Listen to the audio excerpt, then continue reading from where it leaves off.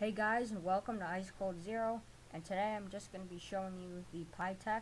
It's an LMG from Advanced Warfare and how accurate it is.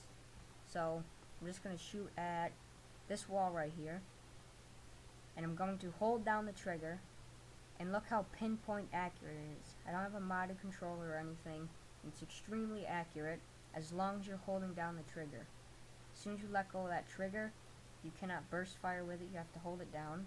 The first, like, five bullets or so will bounce around, but then after that, it's just pinpoint accurate.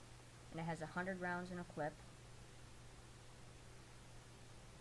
And with the suppressor on hardcore, it's a one-shot kill to a certain range. So if you needed to get royalty camo for LMGs, hardcore would be the way to go. And I'm going to show you that here. Shooting this bot one shot with suppressor.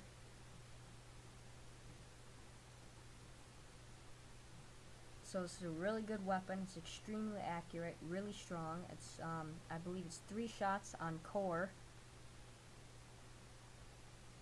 Has a hundred rounds in a clip, and the Pytaek loophole. It has 150 rounds in a clip.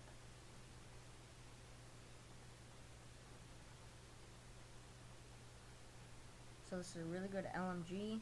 Once again, if you're using, if you're trying to get the royalty camo for it, play hardcore. I recommend playing hardcore because obviously it's a one-shot kill.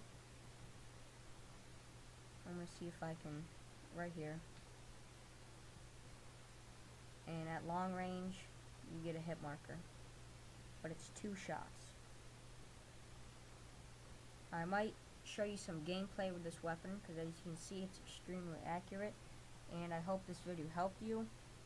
And I wanted to show you this weapon. I haven't seen any videos on it because it's so accurate. This is the most accurate gun in the game. So thanks for watching and I'll see you in the next video